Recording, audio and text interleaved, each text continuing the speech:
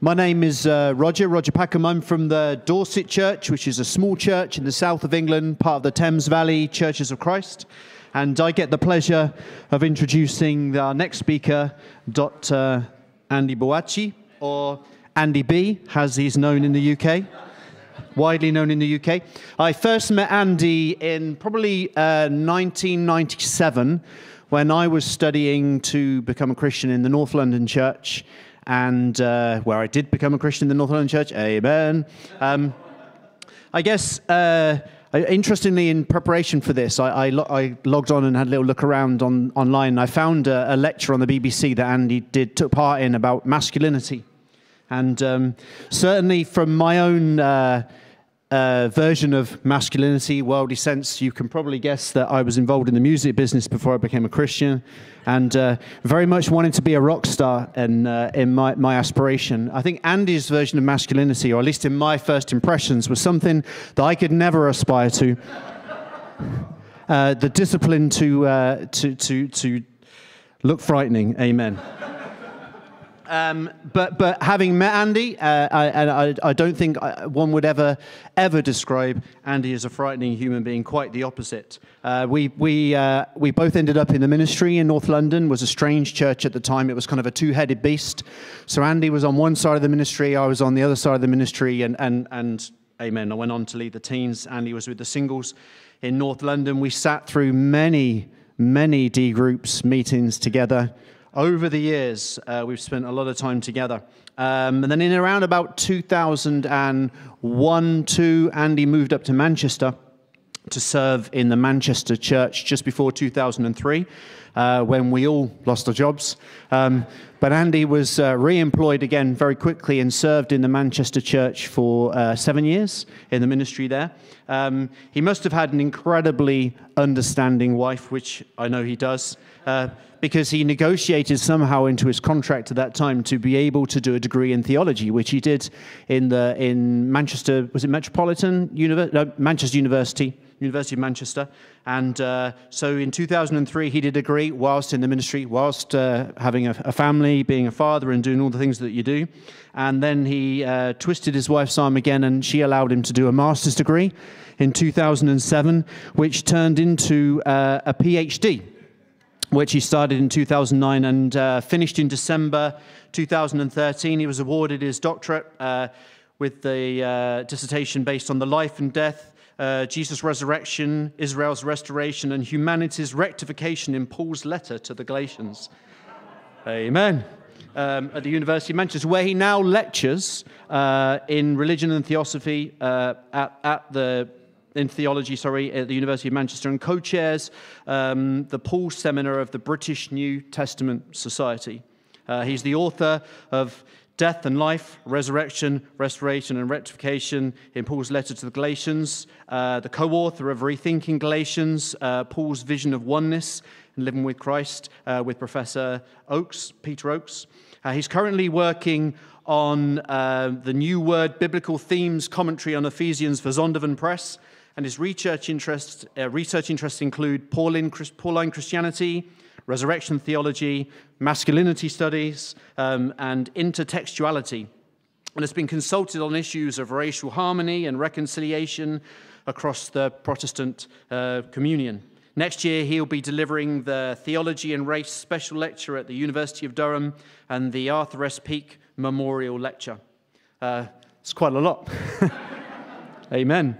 Um, but in, the, uh, in an attempt to, to reground Andy and myself in this process, uh, my most endearing memory of Andy and uh, is, is when we were both very young in the ministry, and somehow we were persuaded, I don't know how this happened, to appear at a Women's Day. You may have been, been there, I don't know what it was, at a Women's Evening in London, where, where we and another brother, who should remain nameless, were persuaded to dress up in drag and come out in front of a thousand women in drag and sing Say a Little Prayer, which, um, which was an unforgettable experience. The minute, minute we, we, we came out faces with their backs to the audience, and so they had no idea who it was. And then we all span around alternately, and um, the, the scream, we talked about the Beatles earlier, the scream that erupted was absolutely deafening, and I've never been so terrified in all my life. So any aspiration towards rock stardom disappeared instantly at that point, and I've been living a spiritual life ever since and, I, and I'm sure um, challenges to Andrew's, Andy's view of masculinity probably at that point changed his life as well. so without further ado, let me uh, welcome to the stage Andy B.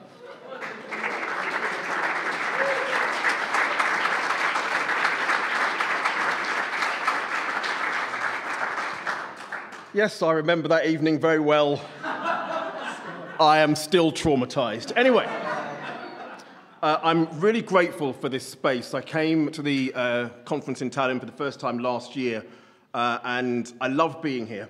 It inspires me to learn, and that's a, a, really important thing for me. So I'm very grateful to Matti and Trin and Reto and Andy and Malcolm and all the others who are involved uh, in putting this together. So then, this is my beautiful family. Um, the left the corner is uh, my 19 year old daughter, Storm. Um, she insisted we take this selfie. She is the queen of selfies, um, which I think should be banned from modern civilization, but there you go. Um, and behind there is my wife. I get, I find it really hard to talk about my wife in public settings because it just makes me emotional. But best day of my life was when I met Jesus Christ. Second best day of my life is when I met this lady right here and I will say nothing else because it will become ridiculous. Okay. Uh, and in the corner there is uh, my young son, Aaron, who's now 21. Uh, and in fact, this picture was taken on his 21st birthday.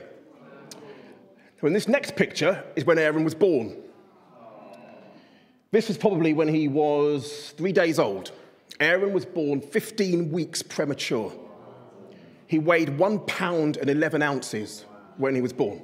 He was literally this big.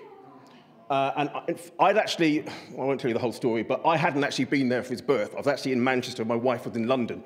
I raced down, and in the time it took me to get from Manchester to London, she delivered him because he was so tiny. You know, uh, when I got there, there were just wires and ventilators everywhere. I couldn't even see him. So this was a few days after he was born when he was allowed out of his incubator. Now, to look at him, you think he was totally fine, right?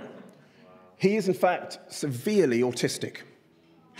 And although he's physically 21 years old, mentally he's about five or six. Uh, and raising him has been the biggest challenge and the greatest joy of my life, all rolled into one. Now, why am I telling you this? It is possible to be physically very old, but intellectually and in every other way, very young. And it's possible for churches to be very old physically, but spiritually to be very, very young. I really appreciate the text that Matty opened the, uh, the conference with in Hebrews 6. So here you have the Hebrew author, and he desperately wants to teach the church about these, these, these deep things about Jesus' priesthood, about how he's not a Levitical priest, he's a priest in the order of Melchizedek. And that involves you understanding bits of Genesis 14 and bits of Psalm 110. And he wants to go on to those really mature, deep things. But the church still needs milk, it's not ready for solid food. So, my title today um, is He Took Captivity Captive Resurrection, Maturity, and Unity in Ephesians. It's drawn from a couple of chapters of a book that I'm uh, writing, as, uh, as Roger mentioned. Uh, I'm actually going to present the sort of technical version of this to the British New Testament Society in a couple of weeks at the University of Exeter. And there's nothing more daunting than giving a lecture to a room full of people whose books you have on your shelf, right? So they kind of already know everything, and so it is a little daunting. So uh, here's how I'll proceed today. I'll, I'll say a couple of general comments about unity and maturity. Then I'll outline my key objectives. I want us to really plow into the text of Ephesians. And then, with the issues that emerge from that, I want us to have some very open and frank discussion. And as I always say with these uh, sorts of presentations, the discussions that we have together are much more important than anything I say at this pulpit, right? You will agree with some things that I say, you will disagree with some things that I say, and I don't care, right? I'm not here looking for followers or supporters. I don't care if you disagree with everything that I say. But as long as we have some healthy, mature discussion about what it means to be mature, then I will have done my job, I hope. I do think maturity and unity are both mutually informing ideas. It takes maturity for us to live into our unity and not simply to collapse into an unthinking sameness. Right? You get a room full of people to do the same thing and they will look unified. It doesn't mean that they are. One of the beautiful subtleties, in fact, of Ephesians is that it depicts diversity as the very thing which nurtures and promotes unity. I think uh, the more that our unity is based on mature and loving dialogue, the more we will see iron sharpening iron, rather than iron beating iron into submission. Now, it's a picture that's not just developed in Ephesians, we see it in 1 Corinthians, we see it certainly in the Johannine material. Unity is something that God creates and that we nurture. An immature unity is one that's manufactured by people and enforced by rules. A mature unity is one that comes from God and that we nurture. And this is what I'm hoping to draw out from Ephesians. Now, my thesis today launches from the six uses of the term mystery. Keeps on appearing in uh, Ephesians. We see the six occurrences of the text here. And it means what it pretty much means in English it means a secret or a hidden thing which is eventually uh, revealed we see the clearest definition of this mystery in chapter 3. Here's what the apostle writes For this reason, I, Paul, the prisoner of Christ Jesus, for the sake of you Gentiles, if indeed you have heard of the administration of God's grace which was given to me for you, that by revelation there was made known to me the mystery as I wrote brief, uh, before briefly, by referring to this, when you read, you can understand my insight into the mystery of Christ, which in other generations was not made known to mankind, as it has now been revealed to his holy prophets, uh, holy apostles and prophets in the Spirit. To be specific, that the Gentiles are fellow heirs and fellow members of the body and fellow partakers of the promise in Christ Jesus through the gospel, of which I was made a minister according to the gift of God's grace, which was given to me according to the working of his power. So the mystery then is how is it that Gentiles and Israel become one people? This is the thing Paul is saying has been revealed to him and to the apostolic entourage. Now, the prophets routinely spoke about the day when non Israelites would join God's people. Right, right from the beginning, Genesis uh, 17, verse 5, Genesis 18, verse 18, Genesis 22, verse 18, it was said to Abraham that you will be a blessing to the nations. Right, both in Hebrew, the word goyim, and in Greek, the word ethne, both mean nations, pagans, Gentiles, it's all the same word. So we already know that that's the case. Indeed, we see it in these other texts. Zechariah talks about the day when uh, 10 Gentiles will grab the hem of a Jew and say, Take me to your God. Isaiah talked about the day when the nations would stream to the mountain of God. So, Israel already knew that Gentiles would become part of the people of God. The mystery, however, that Paul is talking about is that it is through the gospel of Jesus, the Messiah, that Gentiles and Israel would become one people. Now, my reading of the mystery in Ephesians rests on two very important details. First of all, that this first mention of mystery, and we'll come back to that in a moment, is the foundational uh, definition of mystery in the letter and that all the other references to mystery flow from that reference to mystery in Ephesians 1, verse 9. And the second thing is that resurrection is the power that brings unity. So let's think about the passage itself. Here is the, to me, the foundational um, use of the term mystery in Ephesians. He made known to us the mystery of his will according to his good pleasure, which he set forth in him regarding his plan of the fullness of the times, to bring all things to a head in Christ, things in heaven and things on earth.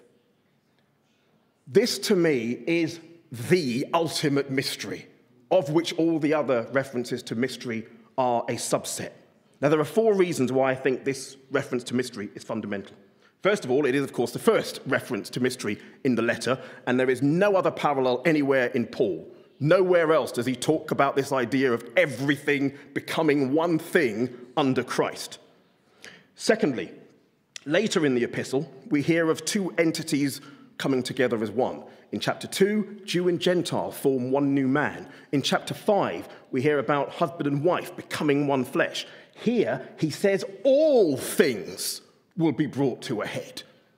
All material reality is going to become one entity somehow, whatever that means, with Christ as the headline. Thirdly, it's the only explicitly, um, and the term is eschatological reference to mystery. That is, it's something he says will happen at the fullness of the times.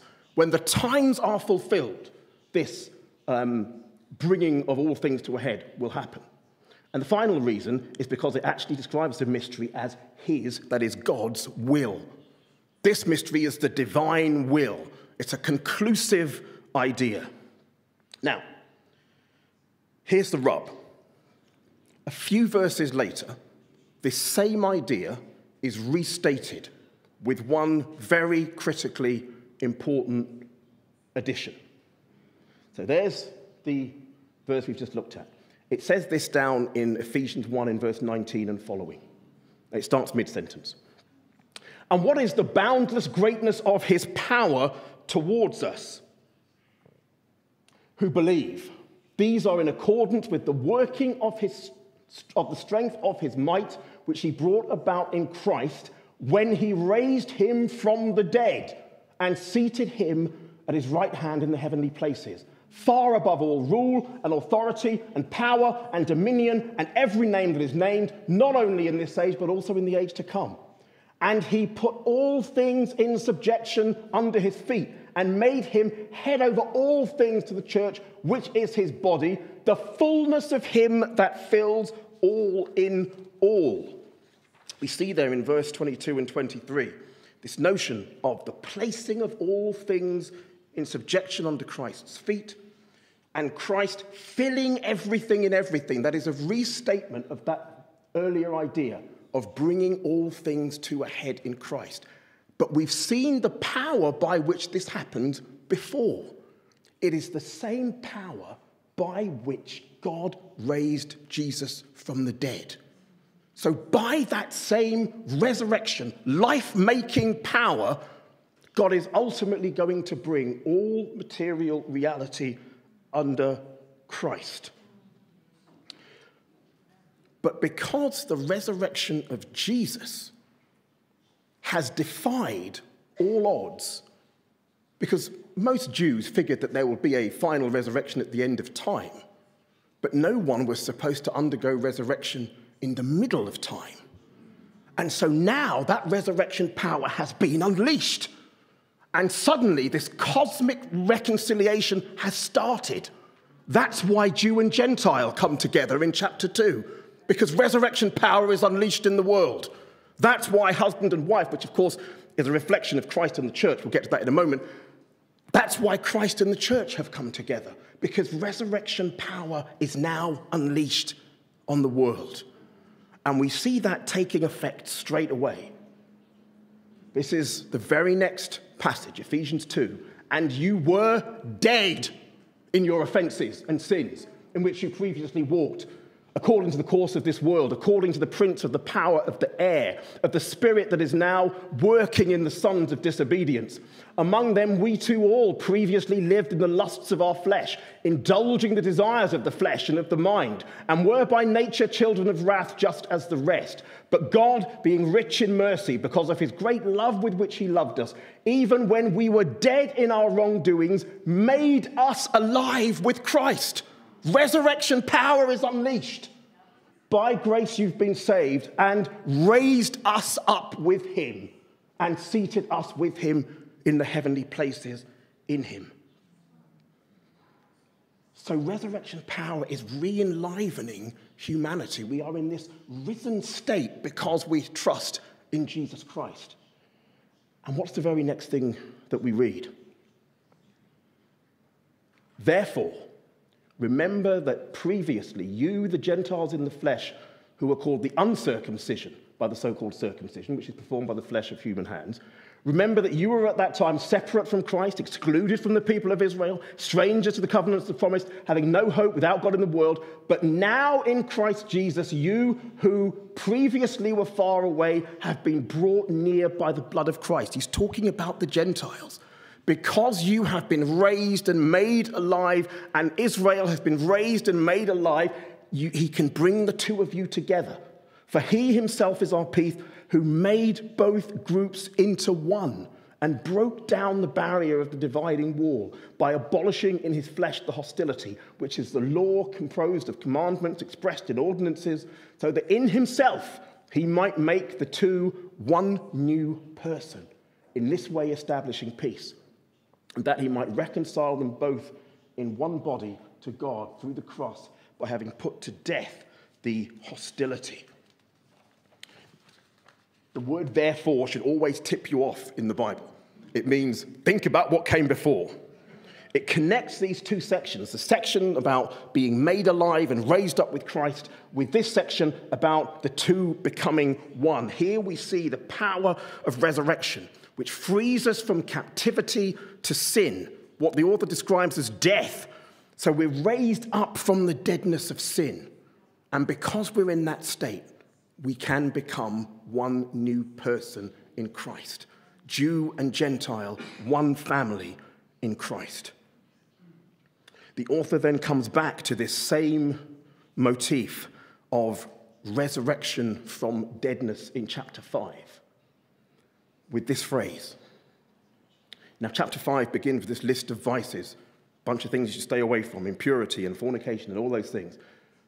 And the section ends with this warning See that no one deceives you with empty words, for because of these things the wrath of God comes upon the sons of disobedience.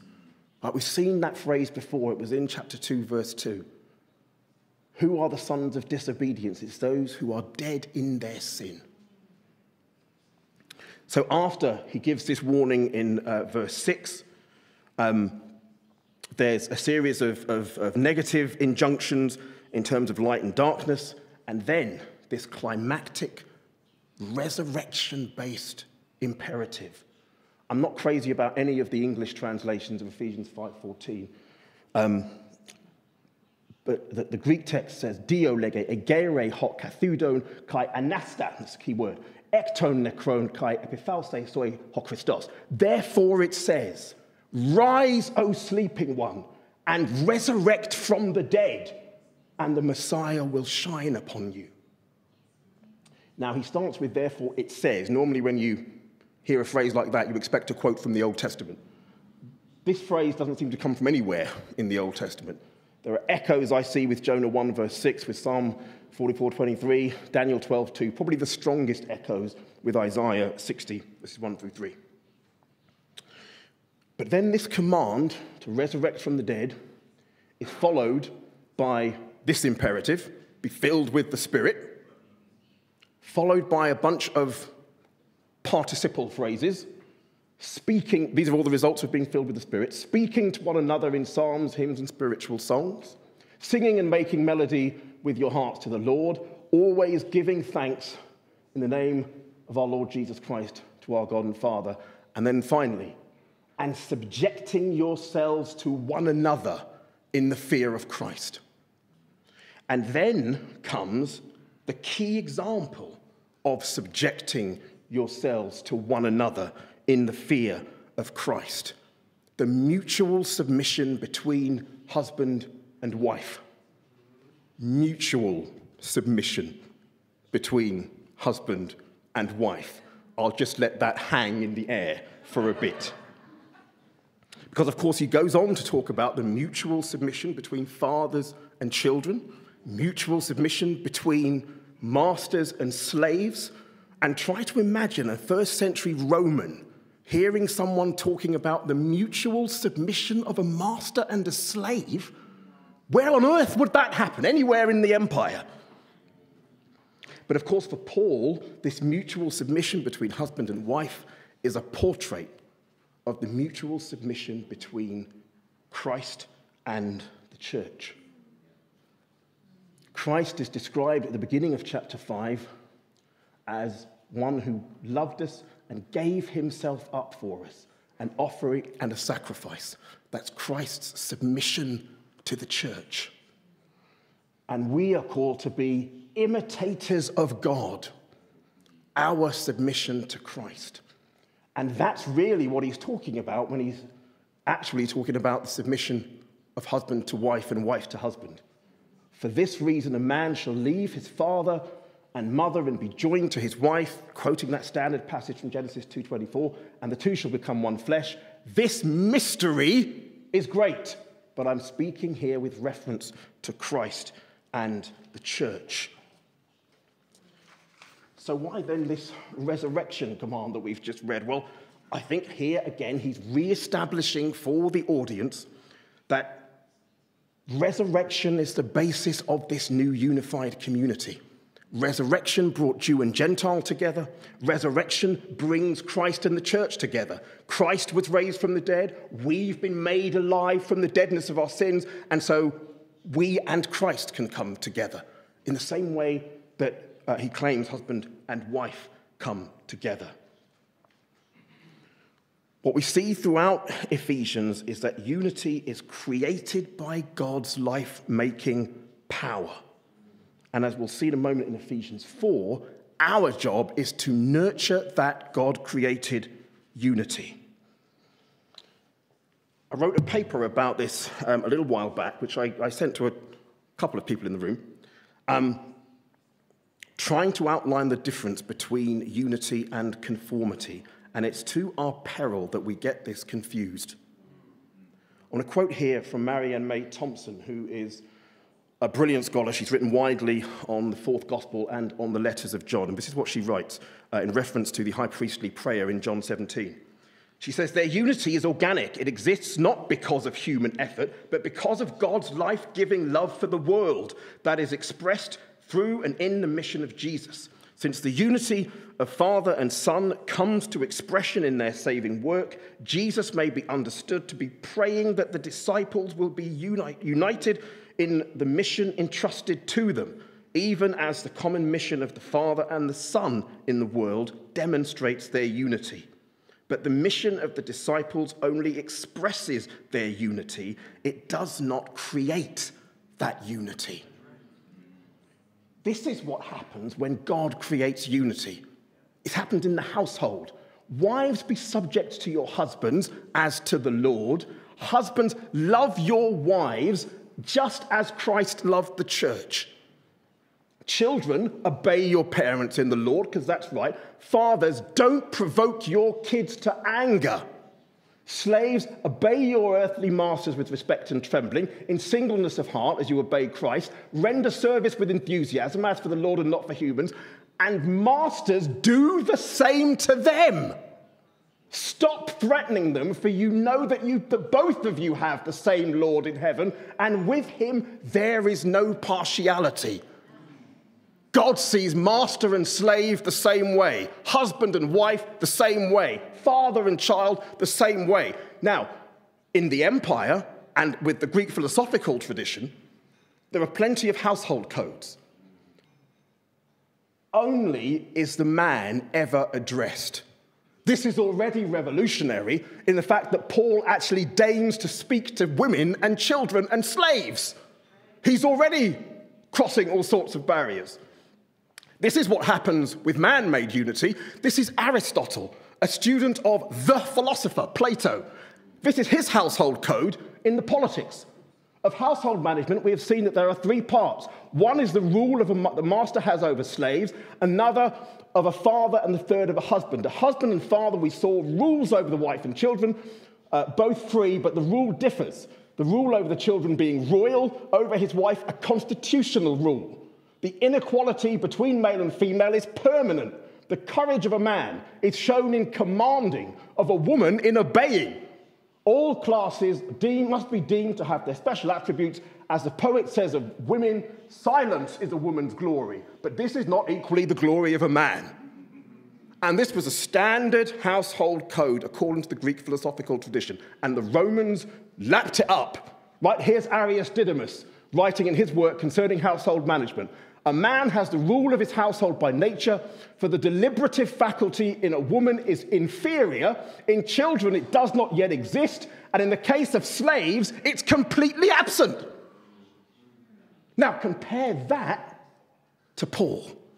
And you have to put yourself in this context and imagine a first century reader trained in Aristotle, knowing how Augustus was worshipped, hearing the words of Paul before you even get to the content, you would think, why the heck is he addressing slaves? They're property don't talk to slaves like they have agency, like they're real humans. But Paul did, because that's the kind of unity that God creates. This is the kind of unity that people create and enforce with rules about who's inferior and who's superior. Then we come to Ephesians 4. Unity is not a community that dogmatically behaves the same way, but rather a community who tenaciously love the same God. He reinforces that unity with the ones in Ephesians 4. This is the kind of unity that ought to be nurtured. He calls it the unity of the Spirit is one body, one spirit, just as you were also called in one hope of your calling, one Lord, one faith, one baptism, one God and Father of all, who is over all and through all and in all. That is divinely created unity, what he calls the unity of the Spirit in verse 3. But then he says this in verse 7. But to each of us, or to each one of us, grace was given according to the measure of Christ's gift. We all have gifts apportioned differently. We all have different gifts. This is how we maintain this oneness. We maintain this oneness on the basis of each of us having different gifts. It is our very diversity that promotes unity. It's because we're all different and have different gifts that we can be one. The issue in Ephesians 4 then is where do these gifts come from? And that's what our key text really is all about. And we'll um, wrap up with a few practicals shortly after this. Therefore, it says, when he ascended on high, he led captive the captives, and he gave gifts to the people. Now, the expression he ascended, what does it mean except that he also descended into the lower parts of the earth? He who descended is himself also he who ascended far above all the heavens so that he might fill all things. And he gave some to be apostles, some as prophets, some as evangelists, some as pastors and teachers for the equipping of the saints, for the work of ministry, for the building up of the body of Christ until we all attain to the unity of the faith and of the knowledge of the Son of God, to a mature man, to the measure of the stature which belongs to the fullness of Christ. As a result, we're no longer to be children, tossed here and there by the waves and carried around by every wind of doctrine, by the trickery of people, by craftiness and deceitful scheming, but speaking the truth in love. We are to grow up in all aspects into Him who is the head, that is Christ, from whom the whole body being fitted and held together by what every joint supplies according to the proper working of each individual part, causes the growth of the body for the building up of itself in love. In ancient conflicts, long before there was any such thing as the rules of engagement, victorious parties would parade vanquished armies around and say, Look who we defeated and they would have the spoils of war with them, usually slaves, but whatever they had, gold, whatever it was, and they would parade it around. Now, Psalm 68, which is what Paul is quoting in verse 8 there, when he ascended on high, that's from Psalm 68. In the psalm, God is that victorious king. and he's leading the captives captive, having plundered the army. Paul, quoting here, clearly sees Jesus as that victorious king. Now, in the psalm, when it says when he ascended on high, it's talking about God sort of going up a mountain in victory. But of course, for Paul, when he went up on high is a reference to the resurrection. When Jesus was resurrected and ascended, he gave gifts to the people. And who, who, is the, who is the army that Jesus has vanquished? Well, in one sense, we've already seen it. When he was resurrected, he was resurrected far above every rule, authority, and power and dominion. Um, we saw in, in 2 verse 2 that people are held um, and, and trapped in deadness according to the prince of the power of the air, of the spirit that's now at work in the sons of disobedience. And then again, that famous passage in um, Ephesians 6. We're not supposed to be fighting one another, but we're supposed to put on the full armor of God against the devil. Our struggle is against the rulers and the powers and the forces, the dark forces of this age. In fact, I prefer the more literal translation of this passage in verse 8, and it's where my title comes from, where it actually says he led captivity captive. Because Jesus didn't just defeat an opposing army or an opposing king, he defeated evil itself. He took captivity itself captive.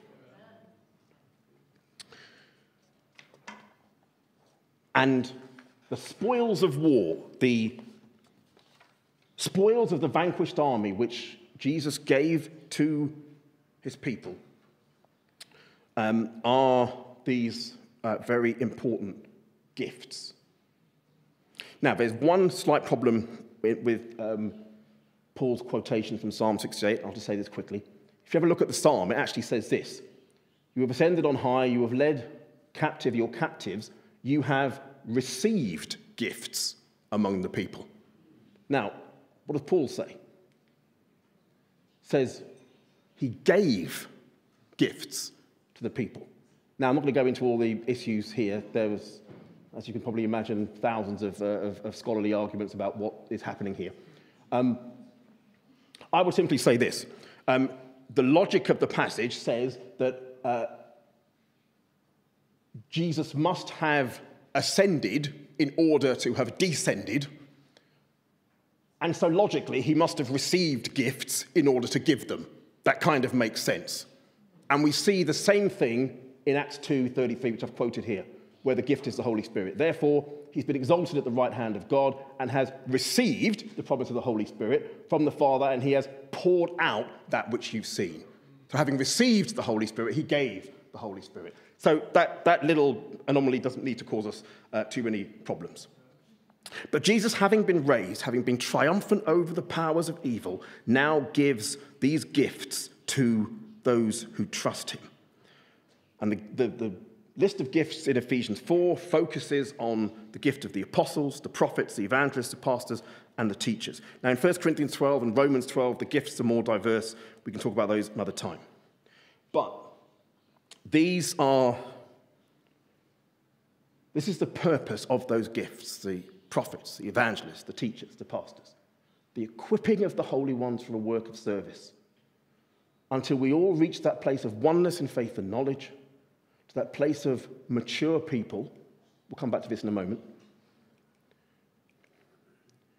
In order that we're no longer tossed around by weird doctrines, we tell the truth lovingly so that we might grow up, that the whole body comes together and each part plays its role. I'm going to unpack these, each of these very briefly, and this will be the basis of our discussion.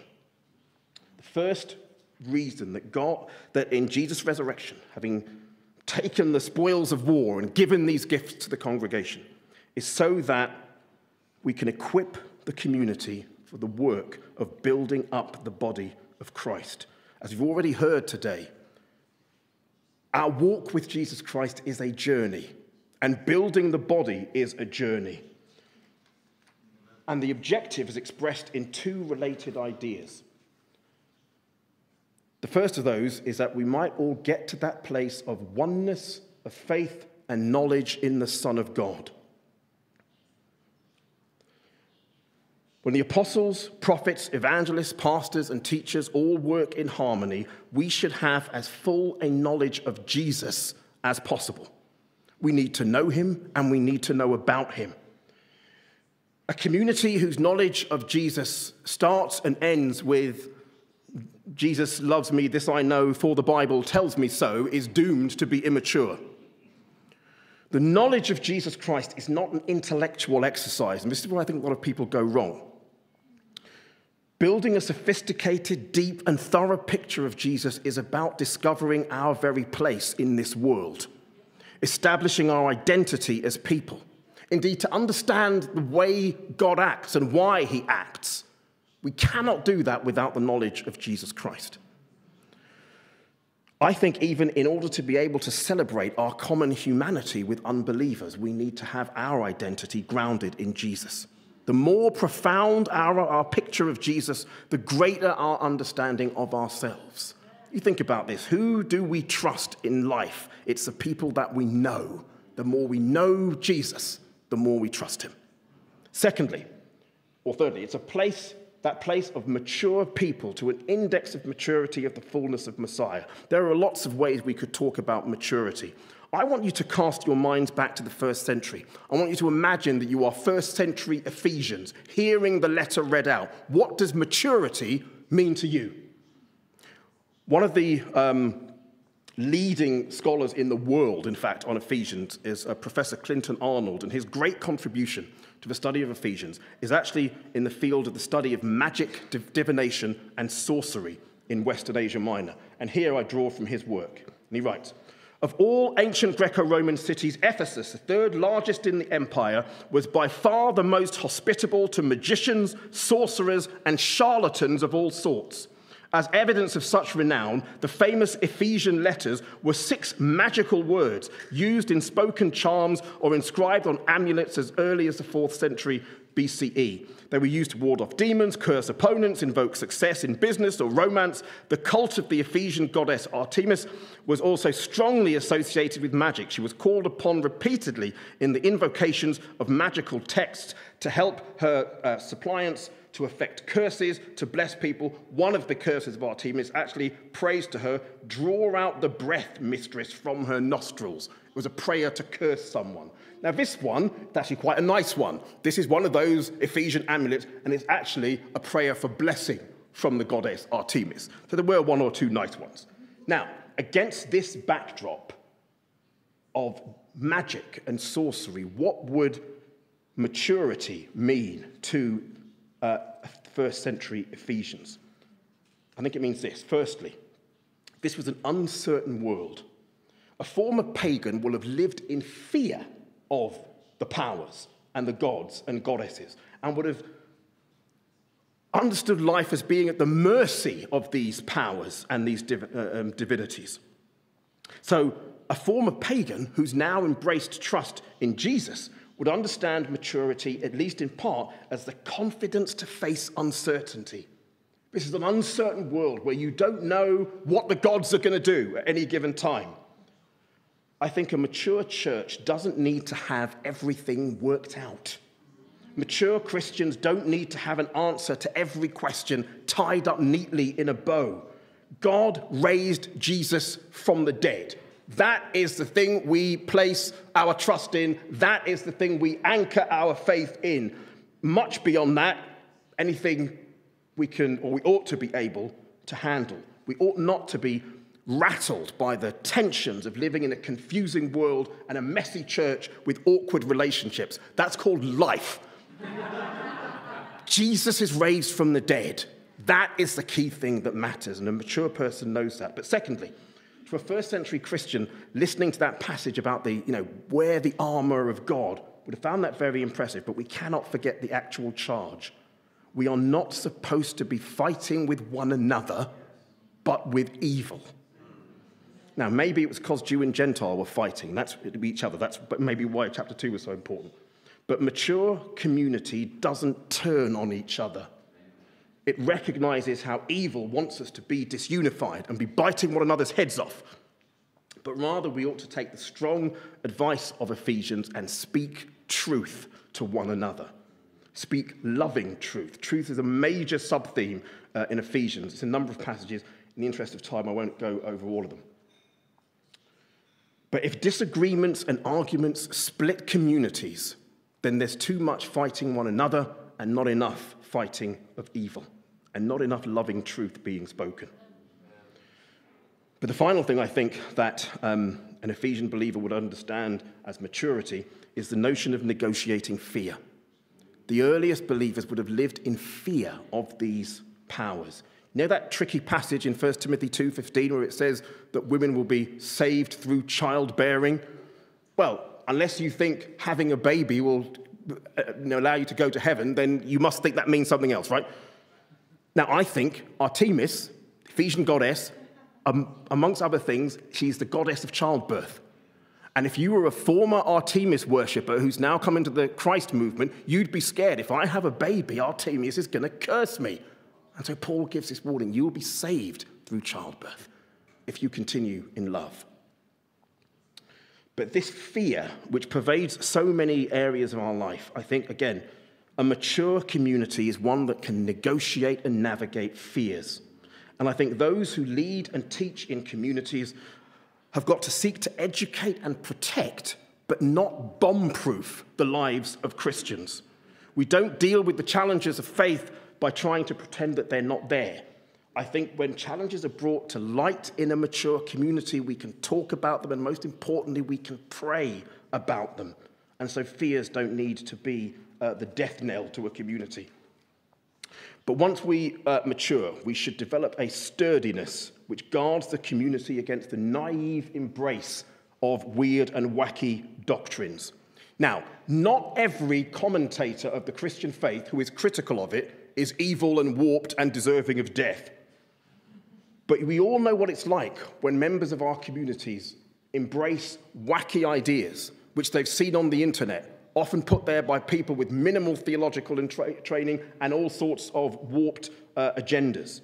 But it's a sign of our collective immaturity if we're not able to critically and honestly deconstruct new ideas on the religious landscape. I don't think we should be afraid of them. Sometimes we can even learn from them. But one of the most important components, I think, of maturity is what I call rootedness. I remember one time I was reading a, a book uh, called What St. Paul Really Said. And the chap who happened to be leading the church saw me read it and immediately tried to protect me from it. Now, what he didn't know was that the book was actually written by a conservative Christian who's trying to debunk liberal ideas of Paul. So he meant what St. Paul really said, as opposed to what all these liberals are saying. But as soon as he saw the title, he thought I, need, I needed protecting from it. Now, younger or more impressionable, believer, uh, impressionable believers, of course, will need more support to navigate rogue teaching. But we shouldn't, what we shouldn't do is encourage the fear of ideas. When there's honest dialogue, then we can work through these things. I stand by the old adage keep your mind open, but not so open that your brains fall out. Fifthly, from this place of maturity. Rather than being hoodwinked by uh, trickery, we should speak loving truth. Now, of course, this phrase is talking specifically, speaking loving truth about um, false doctrines. But with all the references to truth in Ephesians, in 1.13, 4.15, 4.21, and a few other places, it's clear that the, author's, um, the author is thinking more broadly. Israel's sage in Proverbs 15.2 says that the uh, tongue of the wise makes knowledge acceptable, um, that the wounds of, fre- of a friend can be trusted.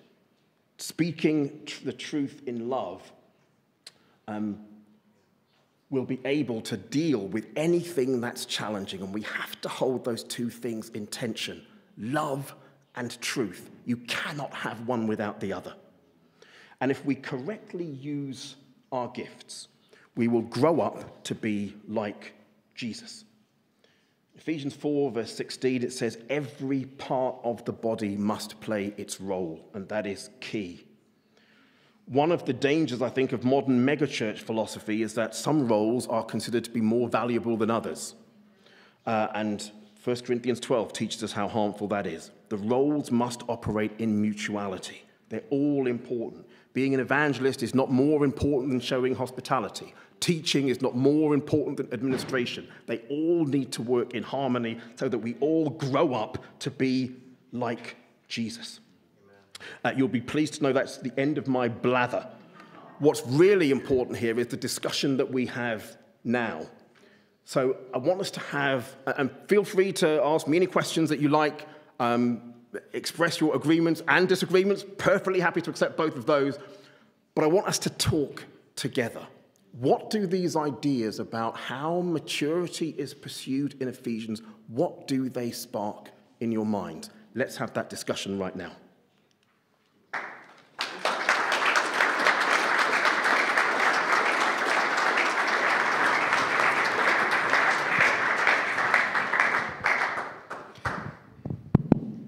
One, one. Amen. We're just going to dive straight in, right? Let's just, just do it. So Yeah, yeah, go for it. We can have a warm up, just some feedback, opinions, or right at the back. Oh, there we go. Okay. So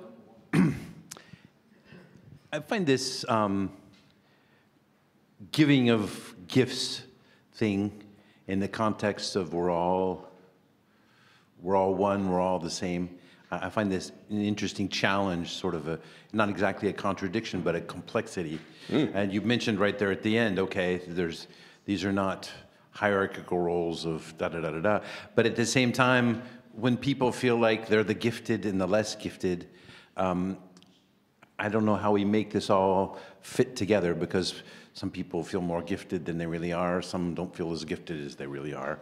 But, but in any case, people that have been given many gifts by God, is- I find it interesting, this idea that, you know, we're, we're all one, but some of you are more gifted than others. It's kind of like, a little like Animal Farm, right? Yeah, all equal, but some more equal than others, yeah.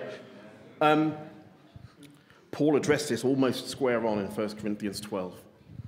When he says that um, not only that the, the eye can't say to the ear, I don't need you, and vice versa, but he then, of course, says that those parts which we consider more sensitive, you know, and he's probably talking about genitalia in that passage, um, we treat with special care. And that's what we ought to do. Those who are less gifted in the community, there could be all manner of reasons why they feel, I keep being poked in the head by these, these vicious plants. Um, those people who, are, who feel less gifted in the community could do for all sorts of reasons. It could be because of something which has happened within the community itself. It could be because they were you know, bullied in, in their childhood. And so it's important, and again, I, I stress this on those of you who have leadership responsibilities. It's, it's part of your role. I'm not going to say it's, it's not your entire responsibility, but it's part of our role as people who lead in these communities to get alongside people who feel like my gift doesn't matter. And it has to come from the pulpit. We've already um, heard from, from um, David that you know, sometimes you know, we, we have this format where the person talks from the front. Like right now, I look super important compared to the rest of you. Clearly, I'm not. And if, if we have this, this kind of, you know, the, the, the pulpit over there and the congregation over here, it's easy to think certain gifts are more important. But we know from experience, you know that the person that cooks that dynamic meal where you all come together and you lap it up, and you know that when you bring your friends to that meal, they'll come again just for the food. And at that moment, you know the person who cooked that food is super valuable to the community. They may not get mentioned on Sunday, there'll be no posters outside saying so and so's food is awesome, but you know from the life of the community how important that person is. But they need to be made to feel that, and that's got to be the responsibility of those stronger ones, right? Those of you who are strong bear with the failings of the weak, right? So, Uh, hello, thank you. It was um, unbelievable. I'm excited. And my question, um, I want to ask how you practice this principle that you uh, share for us uh, in your family when you have uh, a problem or conflict or disagreement. Thank you. if you understand my question. Uh, I, I think I do. Just so, how do I apply the principles of Yes, about community, about what you uh, share. In, in my personal family? your or oh, I see. in oh, your right. personal- Um, all right. Yeah. Um, If I can ask you. Uh, no, of, of course you can. Of course Thank you can. There's- Nothing is off limits. I, you'll know if something is. Um, um, I, I mean, part of it, I, I'm in this sense, I'm lucky because um, my wife and I talk all the time. We actually very, find it very easy to talk, but really that's, that is, that's the main thing, is that there's got to be communication about these ideas. This is kind of my answer to everything. You know, if we would just talk more, we would solve all our problems. Uh, well, that's not totally true, but we, we, we'd make major steps towards, towards doing so. Um, so we, we talk about them. Um, my, my daughter's 19. She's not, you know, the most spiritual human being in the world, but we talk about these things even, even with her. Um, and, you know, she, she knows my position on these things. She may not be able to articulate them in the same way, but she, she certainly knows. Uh, and so that really is the key thing for me. It, it's got to be talked about openly and honestly, lovingly and truthfully.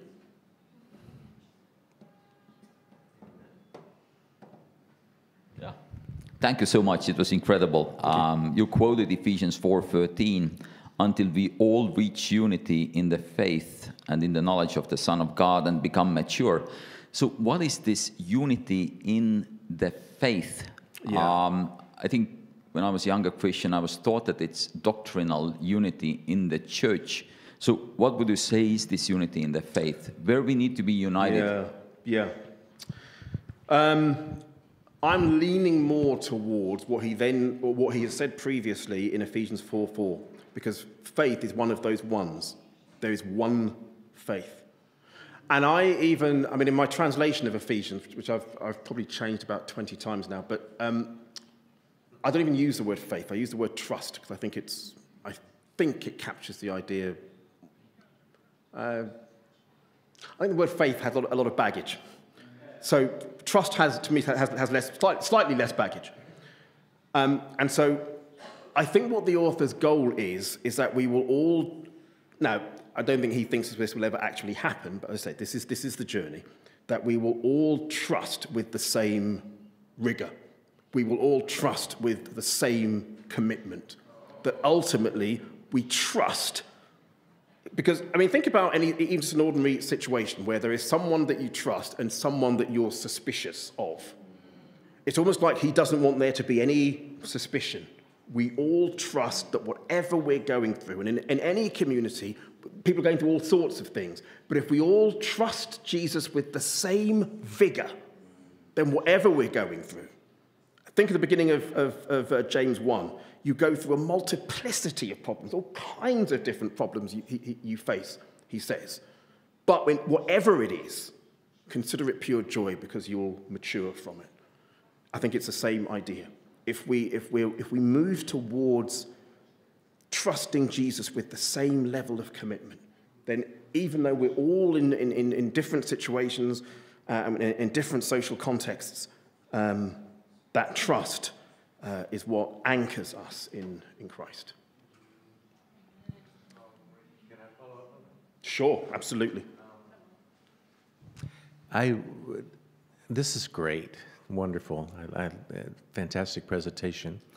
Um, I, I get in Ephesians that Paul is talking about unity and the power of the resurrection. You made a statement that we don't put on the armor of God for people inside the community, but how do you reconcile that with Paul saying things like expel the immor- immoral brother and um, rebuking Peter to his face in front of the community um, and um, naming names, Alexander and Hymenaeus?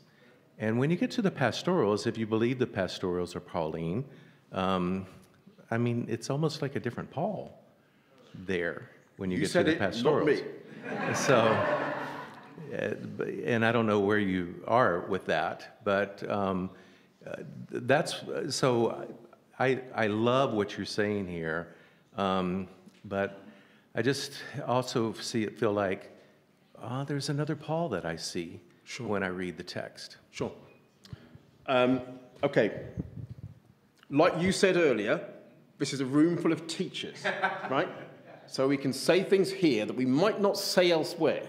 I know this is being recorded, so don't show it to anyone, okay? now, um, it's up already. Oh, rats. Um, okay. First thing I'd say to that is, and you, you already know this, but I'll, I'll say it out loud. I think we're, we're quick to run away from tensions in Scripture. And I think we ought to live with them. I, ought to, I think we ought to stay with them. Uh, and we've actually, you know, we've heard some already. So, oh, thank you. Yeah, I'm being mullered. Thank you. Reto to the rescue. Sure, I'm going to have things growing in the back of my head now and stuff, but uh, Reto's just rescued me. So that's the first thing I'd say. The second thing is that because Paul's letters are all occasional, it's almost like we do get a different Paul sometimes because he's reacting to situations. Paul never wrote a single word aimed at 21st century debates about anything. I'm sure if Paul came and saw the amount of literature that's been written on his letters, he would, what on, I, I wrote this letter because I didn't want Gentiles in Galatia getting circumcised. Why is Andy writing this massive tome on, on my letter? Um, so in some sense, we kind of are getting a different Paul, a Paul who's reacting to different things. Now, the trouble with Ephesians is we don't know what he's reacting to because there's no obvious problem. Now, Ephesians seems to be drawing on Colossians in some sort of way, and there is a, a much clearer problem in Colossians with religious syncretism, people borrowing bits of Gnosticism and bits of Jewish mysticism and attaching it to Christianity or whatever is going on. Um, a third thing I'll say don't throw anything at me, is on some occasions, maybe Paul was wrong. Paul publicly blasted Peter in front of the community at Antioch. Was that a good thing to do? It was a Paul thing to do. but was it a good thing to do? I don't know. We're told that Paul abandoned um, Barnabas over John Mark I think that's Luke being nice. I think he abandoned Barnabas because of what happened in Antioch. He actually names him. All these Jews followed Peter in his hypocrisy. Even Barnabas was led astray. I think that's what really separated him. And this John Mark stuff is just a straw that broke the camel's back. He's back in action in, in Colossians. All seems to be forgiven. And of course, Bar- Barnabas and Mark are related. We also know that from Colossians. Right? So, and I've had this debate with my wife. Who was right in that situation? Should they have fought for the unity, or was it right that they went in their separate ways? I don't know. So, even with expel the immoral brother, we should expel him, but we shouldn't stop loving him. He should be put out of the community because it sends a strong message to the community. But an even stronger message is that we still want this person to be saved. Uh, and that has to, you know, again, truth and love they have to work in, a, in an almost inexplicable unity. And, and sometimes you know, it's easy to get, uh, I mean, I'm saying this stuff like it's easy. The truth is the, the balance is, is easy to miss. Sometimes there's kind of too much love and we get fluffy about what should be true. And sometimes there's too much truth and we blast people away without really, you know, getting on their level. And again, that blend of love and truth, I think, is a lifetime work. So. Can I just cheat? Just, I'm going to give it to you in one second. Um, I like models. Uh, transactional analysis is a model of mm. therapy from the sort of 60s, 70s, and uh, it talks about the ego states, different ego states, parent, adult, child. And um, one could say, uh, in terms of when you look at the parent, what causes maladaptive behavior in children is the idea of, a, of an authoritative parent or a smothering parent. Um, potentially in the church, we've had sort of practices and cultures that have put leadership in the role of parent and yep. kept the congregation or other people as children, kept them as children, and the transactions have been like parent to child, parent to child.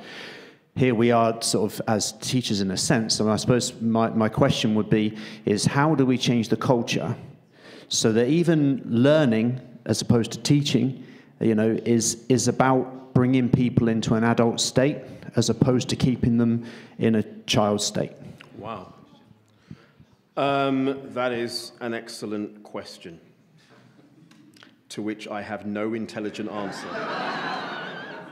except to say that it's got to begin in rooms like this. Yes. Um, again, don't throw anything at me. Okay. So I think what you've just said, the, the, the hardest audience to say that to would be a room full of evangelists and church leaders. Because they have a way of doing things and, and, and it's well motivated and you know the, the, the motives behind it are, are pure and they're positive. But a lot of the time i mean again think about it in real terms. A smothering parent doesn't know they're being smothering. They just think they're being loving. Oh my child needs this. Oh my child needs that. And, I'll do, and of course you get self-indulgent spoiled brats. Now i was raised by west africans. I don't need to, i was not smothered right mine very much lent towards the authoritarian side. You know, when I hear, you know, sometimes my English friends talking about, oh, my parents never said they loved me, I think, eh, man, you know. Um, but they don't know that they're doing it. My, my dad, my late father, he was a, a mega authoritarian, but he thought this is for your own good.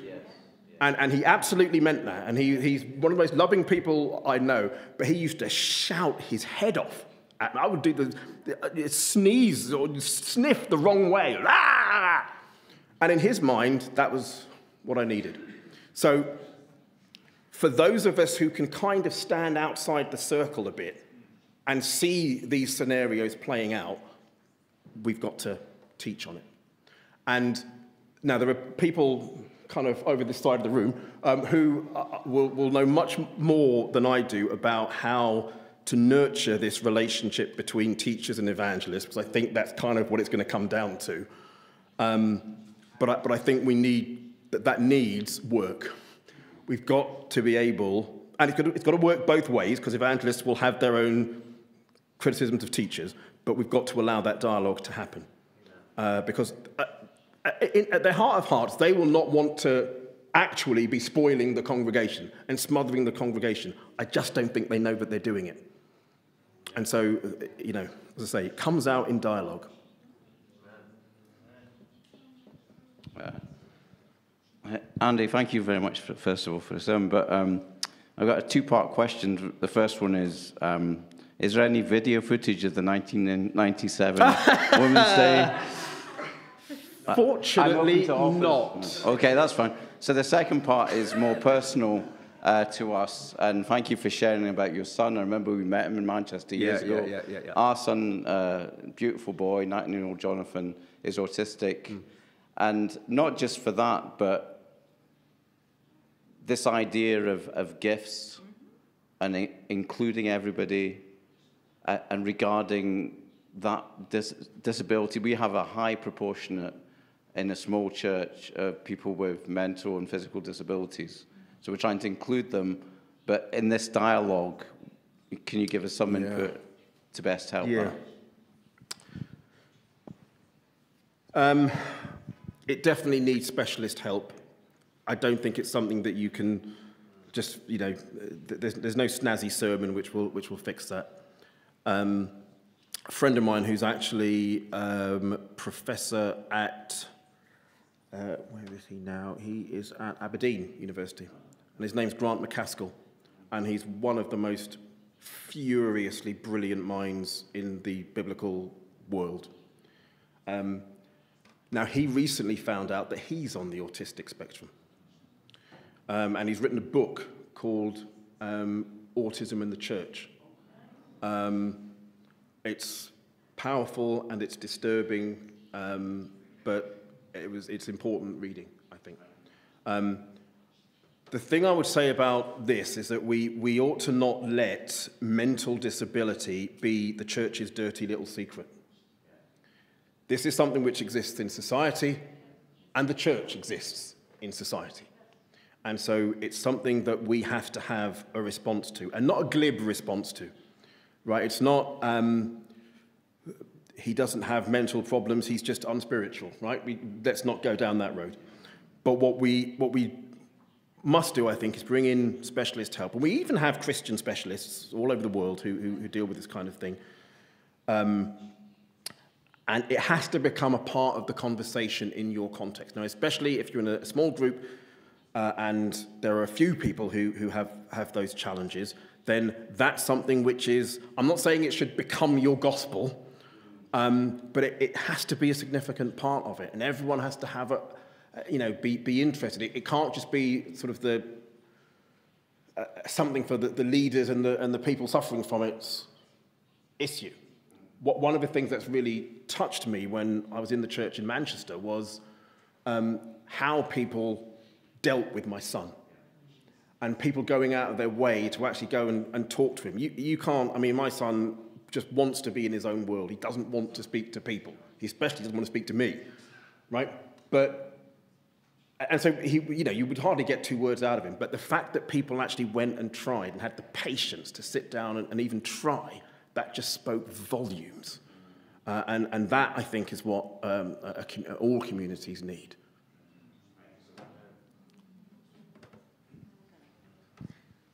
I will piggyback onto my husband because it's interesting. We've not been whispering, so I don't know, didn't know what he was going to say. um, I was actually also going to bring up Jonathan's autism, but actually, in response to what Brad was saying, I'm going to stand up so because I'm short. Um, But because because Brad, you were saying about um, people who feel like they're less gifted, and I feel like this is an issue that there's the gifts that are obvious that everybody sees. And this is not just church this is just in society. There's just gifts that everybody sees and then there's the gifts that people don't see. And then there's beyond that i think that god works in mysterious ways that we will never comprehend and God works through people and situations in ways that are that change the world, and we don't catch that it even has done so.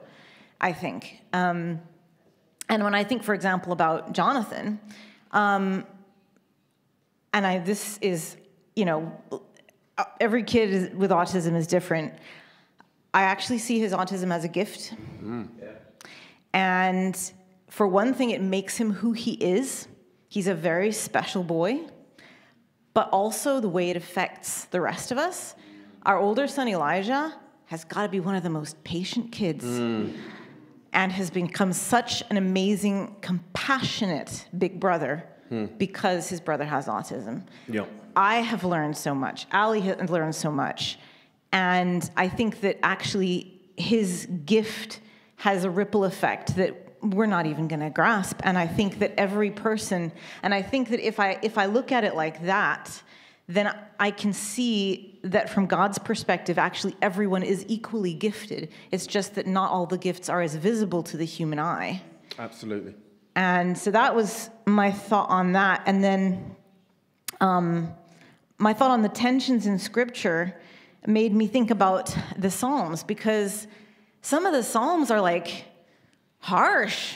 Like, destroy all my enemies, blow them up, kill them all. And I don't and I don't think for a minute God wants us to actually feel think like that. But I think you know what you said about how you know Paul is different in different situations and also that your comment about you know, was it right for Paul to rebuke Peter in public? I think just like in the Old Testament, was it right for Abraham to lie? Was it like for right for um, well, all of the bad kings who did not? I mean, there's lots of stories where it's a story, not God telling us go be like that. Yeah, yeah. So I think you know that's also part of the perspective for the tensions in the Bible. And, but but I think that's a very interesting question to look at situations where okay was was paul being a bit harsh? Or perhaps his audience needed to hear something slightly differently? Yeah, yeah. again the way he talks to different churches is very different based on what their needs are based on what their problems are.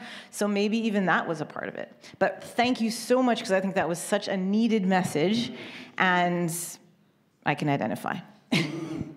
Thank you. I, I, would just add a note about genre. Remember the, the psalms are poetry. They are songs um, so, you know, you shouldn't read Psalm 137 and go and start dashing babies against rocks, right?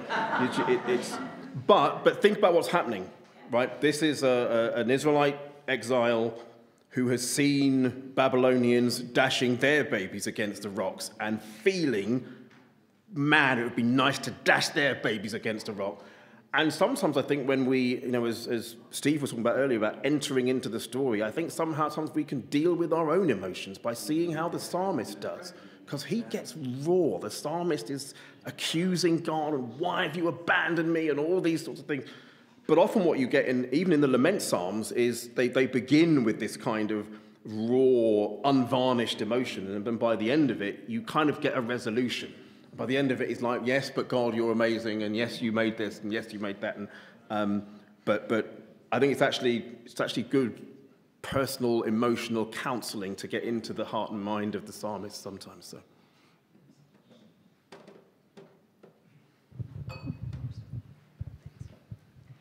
I was wondering if you could maybe comment a little bit more on bringing along a whole church in the sense that I think sometimes the answer to unity, people think, well, the status quo. Yeah. Uh, if it's not broke, don't fix it. Um, and you made a comment at the beginning, something about something kind of about a pseudo community that can About? look. I'm using the term pseudo community, but it Okay. looks Oh, yeah, unified yeah, on okay, the yeah, yeah, yeah, surface. yeah, I know and what you I forget exactly how you put it, but Yeah. because we're in times where so much is changing, uh, it seems like, anyway, just any practical ideas on navigating a lot of the things that are coming up that are seem to be calling out for change, but that a certain amount of the church might be saying, no, we're, we're okay. Uh, the status quo is safe. Uh, we're afraid of certain changes. And we're to just say to somebody, the resurrection is the most important thing. Yeah. You know what? No, no, so you're right. anyway, any You're right. Thoughts on dealing with all that? Yeah. Um, I mean, the, the, the, first thing, and this is, um, I had to kind of have this out with a, an Anglican, not have it out, but we, we got into it, I got into it with an Anglican minister about this because I I just talked, given a, a, a lecture on, this was shortly after the George Floyd murder, uh, and I used as an example um, a black curate who was turned down from a post um, because he was told that the community was too, and I'm, I'm quoting now, was monochrome white working class, and he was told he wouldn't fit in, and he was not given the job on that basis. And it was that that prompted Justin Welby to actually say, and for those of you who don't know, Justin Welby is the Archbishop of Canterbury. It's the most senior Anglican role in the country, to say that the Church of England is still institutionally racist.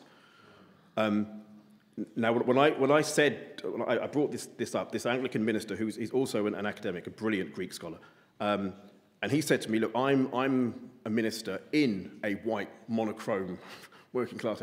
What am I supposed to do about the comfortabilities and the sensibilities of my audience, some of whom may not even have seen a black person before, except on television, literally? And my response to him was, show me the part of the gospel that says Christianity is supposed to be comfortable. Comfortable? Where, where- where's the comfortable bit? I think,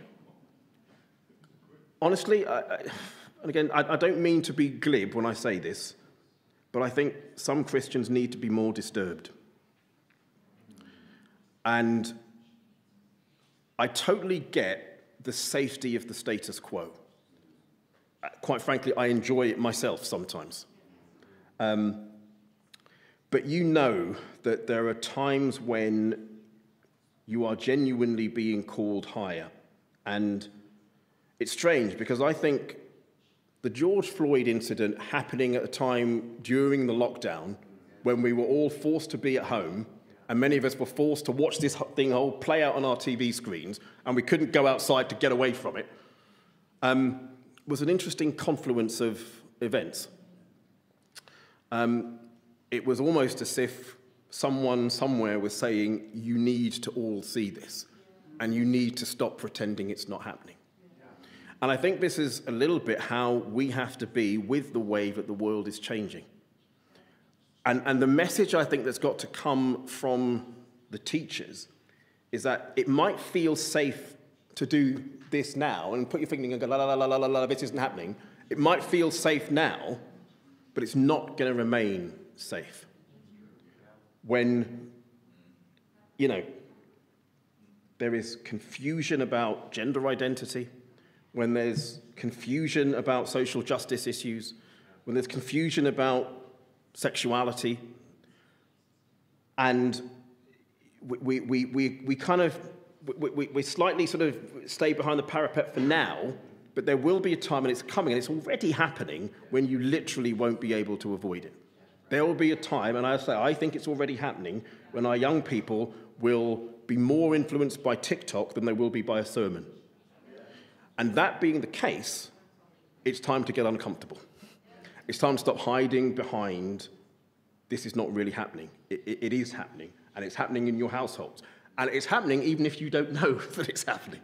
Um, because your kids, uh, our kids, are glued to their phones and they are immersed sometimes in worlds which many of us don't even understand. We didn't grow up with this stuff, we, wouldn't, we don't relate to it. Uh, and again, my 19 year old daughter, who is a, a connoisseur of TikTok, um, you know, sometimes she, even the abbreviations she uses sometimes. One day she said to me, Dad, that's not my POV. I said, Pardon? My POV, my point of view. Like it's a thing, and I'm an idiot for not knowing what that was, right? So, for those reasons, you know, again, I think it comes back to dialogue. And this is where teachers have got to be um, able to address this kind of stuff. And here's something I learned from Methodist minister. Um, I asked a question after he gave a, a, a talk on um, uh, bringing academic education into the church. Uh, and I said to him, What's, what, what, what are the real keys that you've taken away as an academic when you, you move in church spaces, right? Because most people in churches really don't want to know, but there's an academic world out there and people arguing over participles and that kind of thing.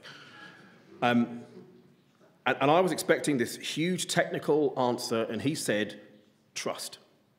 He said, if the people trust you, then no matter how complex an idea, they'll know that as you're steering them through it, that you have their best interests at heart. And this is something I think is really important for those of us who teach. The congregations have got to trust us. The reason they're suspicious is that they think we live in these ivory towers and that we speak all these weird biblical languages and that we're doing some kind of Christian voodoo that only we know about. And that there's some secret that we know that they're not privy to. Uh, and it, it becomes this sort of spooky, mysterious, murky world called academia, which is somehow opposed to devotional Christianity. And somehow teachers have got to break those barriers and make them realize that the only reason we get so nerdy about this stuff is because we want to walk with God. That's, that's, that's the sole purpose.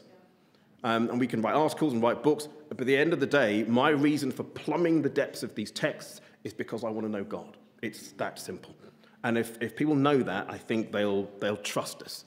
Uh, and then we can have those difficult conversations. Hello.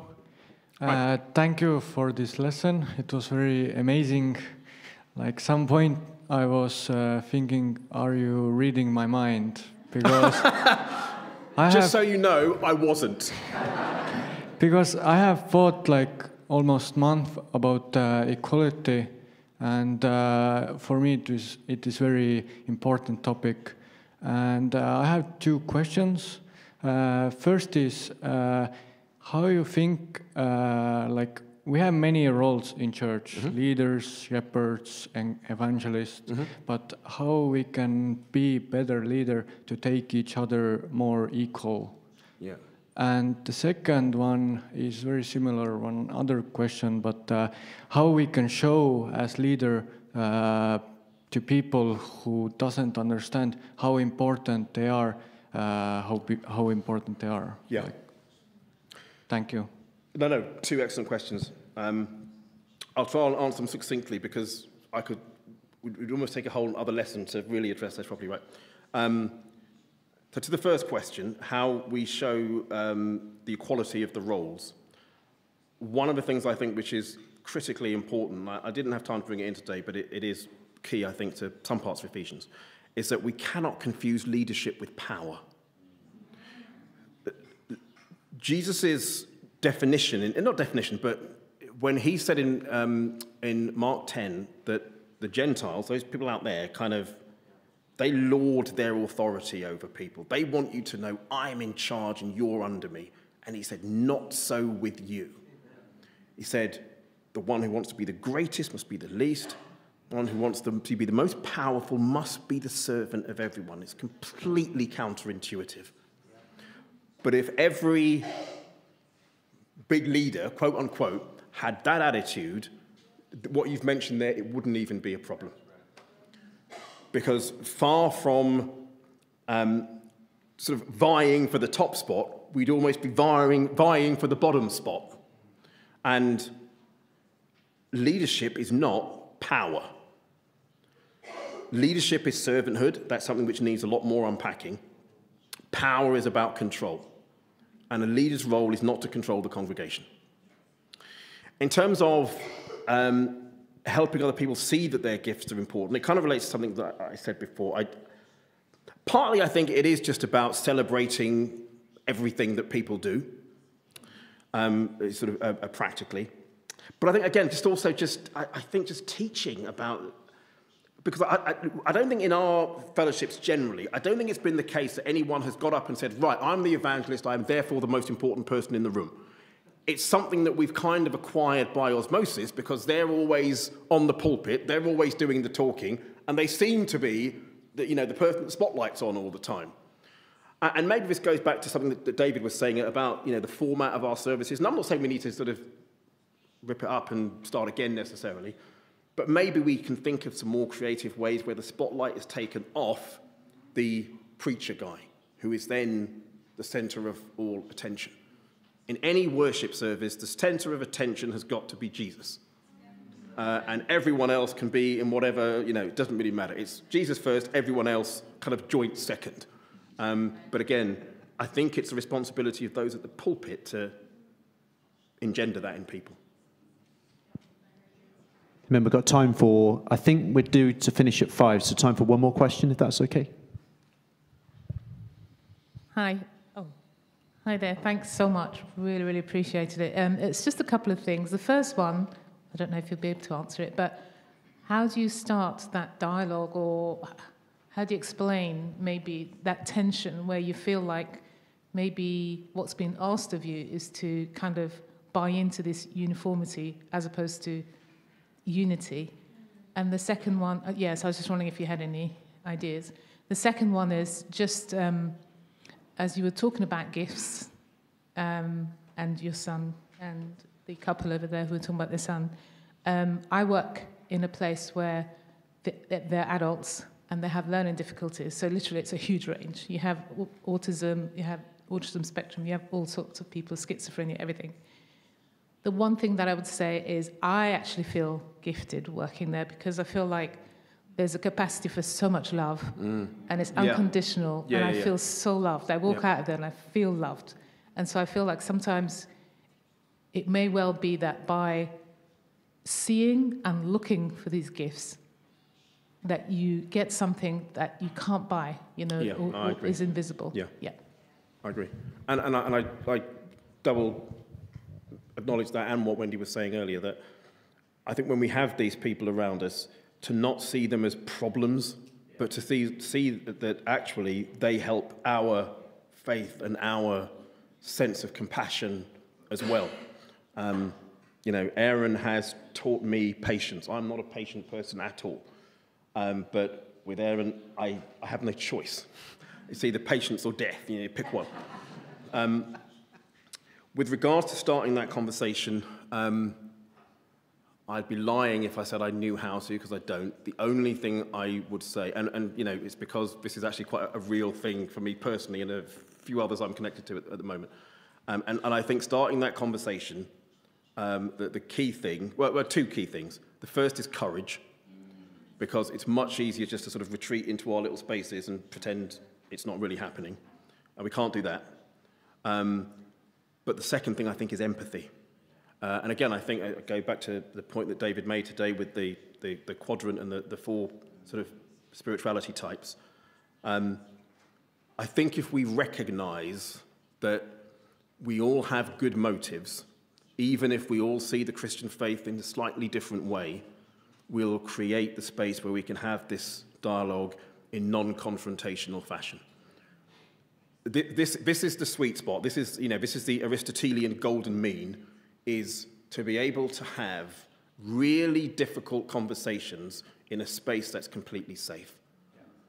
How we do that, I don't know, but I think it begins with courage and with empathy. Amen. It's been a, uh, an amazing conversation, a discussion, not the end, but the beginning. I hope we can carry on this discussion uh, as we have a break now. But uh, just want to say thank you, Andy, for an amazing